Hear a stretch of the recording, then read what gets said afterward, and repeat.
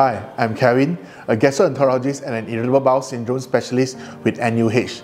In this video, we'll be answering commonly asked questions on the test used to investigate the possible causes of irritable bowel syndrome, or IBS for short.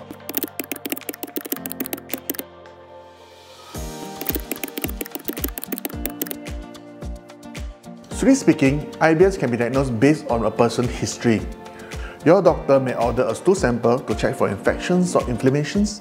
A blood test may also be ordered to check for anemia or inflammations, or to rule out disease like celiac disease. Depending on your severity or red flags, doctor may also order other investigations such as abdominal imaging using ultrasound, CT scan, or MRI to check for any abnormality, or endoscopy to rule out cancer or inflammatory bowel disease. It is important to note that not all tests are necessary and your doctor will order the appropriate test according to your symptoms and medical history.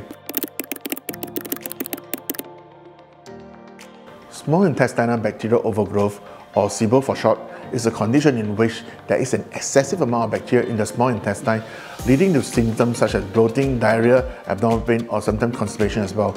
These are symptoms that are very similar to those of irritable bowel syndrome.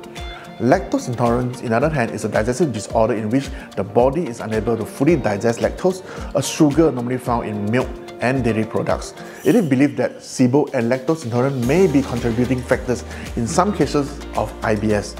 However, it is important to note that not all individuals with IBS have SIBO and lactose intolerance.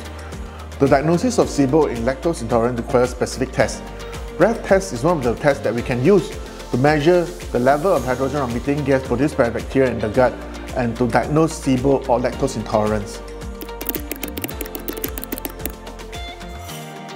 A SIBO test is typically a breath test that measures the level of hydrogen or methane gas produced by bacteria in the gut. The test is simple, non-invasive, and can be performed in the procedure office under the supervision of our medical technologists. The test involves drinking a solution containing a type of sugar that is not easily absorbed by the small intestine, for example lactulose or glucose.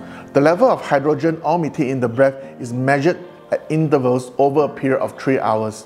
Elevated level of hydrogen or methane indicate an overgrowth of bacteria in the small intestine.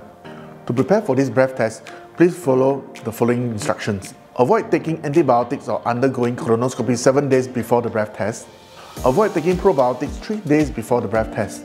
Avoid taking high fiber or slow digesting food, example, wholemeal bread, nuts or yogurt, 12 to 24 hours before the breath test. Here's a suggestion of what your last meal can be before you have to stop taking food. You can have plain steamed white rice, porridge, egg or baked boiled chicken, fish or turkey with salt and pepper as seasoning. Do not take any food 12 hours before the breath test. Only plain water can be consumed. 2 hours before the breath test, Please brush your teeth, do not smoke, and avoid breathing in secondhand smoke as well. Do not consume any fluid, chew gum, or do vigorous exercises. It is important to follow the instruction provided by the doctor or the laboratory performing the test, as the preparation guidelines may vary slightly based on the type of test plan. The lactose breath test measures the level of hydrogens in the breath to diagnose lactose intolerance. The test involves drinking a solution containing lactose and then measuring the levels of hydrogen in the breath at intervals over a period of 3 hours. Elevated levels of hydrogen indicate that lactose is not being properly digested and absorbed in the small intestine. To prepare for the lactose breath test, you can follow the same guidelines as SIBO test. It is important to note that the lactose breath test is not the only test used to diagnose lactose intolerance. Other tests such as lactose tolerance test or stool acidity test may also be used.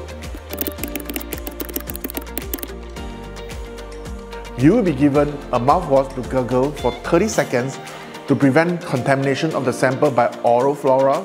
You'll be given a test drink diluted according to your body weight Step 1. Take a normal breath, then close your mouth around the mouthpiece and exhale smoothly. Continue exhaling into the mouthpiece to keep the bag inflated. Step 2. The medical technologists will collect the breath sample in a syringe and analyze using a machine. Step 1 and 2 will be repeated at predetermined time intervals.